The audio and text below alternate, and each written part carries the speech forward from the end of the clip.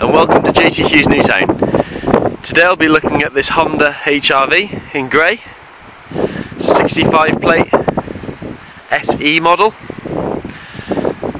It's a 1.6 diesel engine. Right at the front here, we've got front sensors.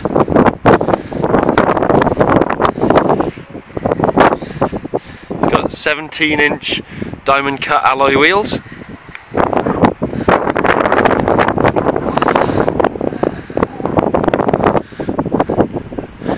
Around the backside here, along the bottom you have your rear sensors.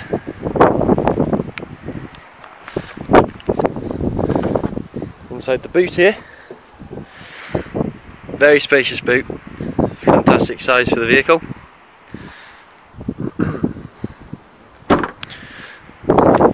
On the side here you've got nice sporty handles to open up the back doors. Very spacious. Power outlet there in the middle, as well as a nice space for a cup holder maybe.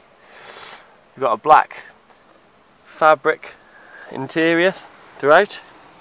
Yeah, Isofix car seat options.